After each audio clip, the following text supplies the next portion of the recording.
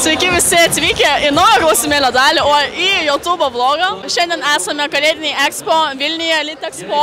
Pati dalyvauju, o dabar eikime, apžvelkime kitų žmonių, dalyvių išradimus, idėjas. Taigi, taigi, pristatykit savo idėją trumpai, kokiais penkiais sakiniais. Ką čia turite? Mūsų produktas yra CO2 detektorius. Čia, žiūrėkit. Labai inovatyvus produktas, tokio lygiai tokio pačio nėra niekur pasaulyje. Mes esame išskirtiniai. Ačiū, skanus kučiukai. Dabar mes pakalbinsim pirmos vietos laimėtojus Jet Set Go iš Vilnius Gabijos gimnazijos. Taigi prašom prisistatykite ir koks jūsų appsas. Uh, mes esame JetSetGo komanda ir mūsų appsas yra JetSetGo ir aš esu Gustė, čia yra Viltė, Viktorija. Gustė, sakiau, ką dar? Tai pristatykit programą. Programą. Nu tai va, tai mūsų programai, jinai įrodo renginius, kurie vyksta aplinkui, kai mes juos gautume. Čia tai- sudaužėt planšetę, matau bišką. Bet jo, mes čia bendradarbiautume ir jau su, esančia, su kita esančia svetainė, kuri uh, rodo renginius, tada vietinių ir turistų rekomenduojamos vietos. Žiauriai įdomu, žiauriai wow. Dabar mes paleisim labai gražiai filmuotą, mūsų gražiai filmuotas video. Čia pasileis dabar.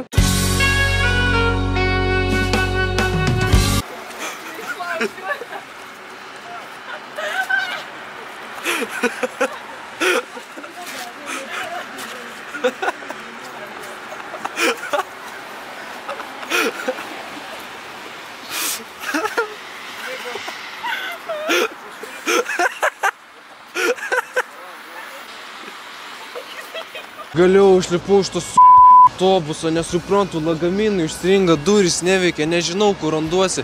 Maksimo Fordai. Labas, gal tu reikia pagalbos? Labas, jo, šiaip reiktų, nežinau, kur randuosi, čia ne iš čia esu. Yra tokia programėlė JetSetGo. Jis tau padėtų susiplanuoti Oho. kelionę ir pagal tavo kriterijus atrinktų veiklas. Oha. Ar gavot pasiūlymų jau normaliai daryti biznis šitą programėlę? Um, nemažai gavom pasiūlymą atsiųsti savo bizinį idėją ir siūlo bendradarbiauti, tai tas yra labai fainai. Rašysit e-mailus ir vėl pamiršit. Būsiu čia, rašysim, rašysim daug. Selfie? Jo, selfie. Tai selfie dar tada bryla. Dabar bryla jung. Bryla, išsitryniau, už, užkniso.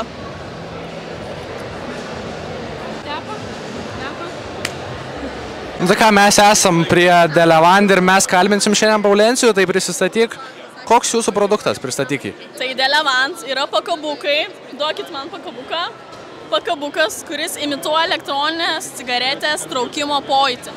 Pasikabini, čia yra išgręžta viena skilutė, tada ant dangtelio kita, įdedami vidų levandų, tu trauk ir atrodo, kad tu veipini, bet tu neveipini, tu nedarai savo žalos. Galima mokyklai naudoti net. Taip, net mokyklai, nes dūmų jokių nėra, nikotino nėra. Tai yra sveikas dalykas, kuris nekenkia sveikatai. Darysime su mėtom, darysime su čiabreliais įvairiom žolelėm. Ir galite pasiekti D, apatinis brūkšnys Levant, mūsų Instagramą. Dizainą taip pat turime dailininkę, kuri išpešia kokį tik norite.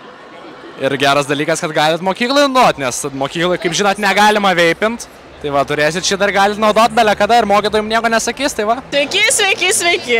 Turime Lietuvos šaltinių progymnaziją. Pristatykit, ką čia darote. A, Sveiki, mes pardavinėjame arbatas. A, Pardavinėjame komplektus su arbatom ir muiliukais. A, Su, nu, ne tik su muiliukais, dar ir su obolių sūriu. A, Taip pat atskirai pardavinėjame. Tai va, tokia veikla vardami. Čia e, produktai yra ekologiški, natūralūs. Patys gaminat viską? A, Jo beveik viską mes tik kalėdiniai arbatai a, naudojame, nu, perkame juodą arbatą, o visą kitą mes patys užsiauginam ir susidžiovinam. Labas, Sveiki. ką šiandien pristatysi? E, Šiandien pristatini- pristatinėsiu savo mūsų... Ne, aš ne. Visi pasimeta, kai aš juos kalbinu. Koks svarbiausias dalykas, kurį išmokai per visą šitą laiką? Elžbieta. Biški bijo, tai koks mūsų klausimas? Labas. Sveika, koks tavo vardas? Elžbieta. Koks yra svarbiausias dalykas, kurį išmokai vis laik dirbdama su komanda? Tai yra komandiškumas, sakyčiau, komunikacija tarpusavį, sutarti bendrą kalbą, rasti tarpusavyje, bandyti rasti bendrus sprendimus ir taip pat sutarti, kad kiekvienas būtų narys įtrauktas į darbą, niekas nebūtų atstumtas, duoti kiekvienam savo stipresės pusės, pasireikšti savo nuomonę. Aš manau, kad tai yra grinai atsakymas į sėkmingą verslą ir sėkmingą rezultatą, kad ir kokioje gyvenimo srityje. Wow. Koks tavo gyvenimo moto? Kas tau gyvenime yra svarbiausia? Dabar šokoladas ir dantų bus palaukis naujo. Koks tavo gyvenimo moto, Dominikai? Kas tau gyvenime svarbiausia? Man gyvenime svarbiausia yra draugai. Juos aš vadinu broliais. Toliau, toliau, toliau mes turime Panevišio Saulėtekio pro gimnaziją ir jinai mums pristato balionai. Man žiauriai patinka balionai. Klausom. Tai šie balionai yra e, visiškai ekologiški, 100 procentų suyrantis, jų viduje yra medžio sėkla, tai balionai susprogus, e, me, medžio sėkla nukrenta į žemę ir išaugina e, gamtai vieną medelį. Super. Ekologija good, bye bye, ačiū. Vytauto didžiojo universiteto Ugnas Karvelis gimnazija. Ir ką mes čia, labą dieną, pristatykite, palaukit, man skambina. Tai mes čia turime pačias geriausias 3D dėlionės. Tinkančias visiems nuo jauniausio iki seniausio, patvarios, tikrai labai paprastos yra. Jo, imkim, imkim. Patvarius.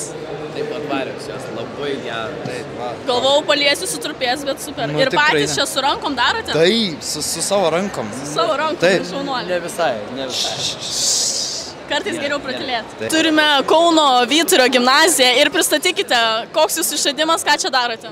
Idėja paprastai pristatyti. Problema tokia. Jaunimui sunku skaityti knygas, mūsų idėja yra sugeneruoti vaizdą knygoms. Padeda tai dirbtinis intelektas padaryti ir jaunimui lengviau skaityti. Jiem tie tokie paprastos knygos yra kaip neįkopiamas kalnas. Dėl to su dirbtiniu intelektu mes sugeneruojam vaizdus ir jiem taip daug lengviau įsiminti ir sudomina juos. Tu biškutį pakalbinti? Šiuo metu? Gerai. Iš kur būsite? Iš Alytaus. Iš Alytaus. Kokiam a, geografiniam regionui čia priklausau? Dzukijai. O ar atspėtum, iš kur yra mano akcentas? Galima draugų pagalba. Mėgstu vyšnės. Marijampolė. Marijampolėje, taip. O, o koks čia geografinis regionas? Suvalkyja. Suvalkyja. Suvalkyja pati geriausia, šiaip tais iš Valk- Vilkaviškių. Ir daug kas sako, kad visi girdėjo, bet niekas nebuvę, bet aš ten buvau. Vilkaviškis labai gerai. Dramos. Aš nenoriu likti mūgį, aš nenoriu tęsti šitos programi- programėlės. Man tai yra tik ekonomikos pamoka. Man tai yra tik ekonomika.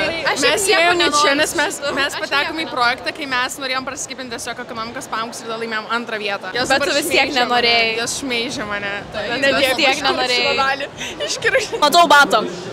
Sudomino batas. Pristatykit, ką čia tas batas veikia. Nesmirdaisi bent jau. Ne. Mūsų yra projektas tame, kad mes gaminame ultravioletinių spindulių lempas, kurios e, dezinfekuoja batus ir naikina prakaito bakterijas. Vyrai, kurių kojos mirda, prašau, įsigykit šitą dalyką.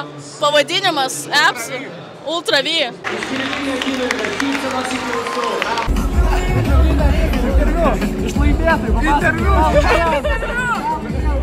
Paėmėm pirmą vietą, geriausia komanda. Mes šitoje renginyje, o čia komanda, čia vadinasi darbas.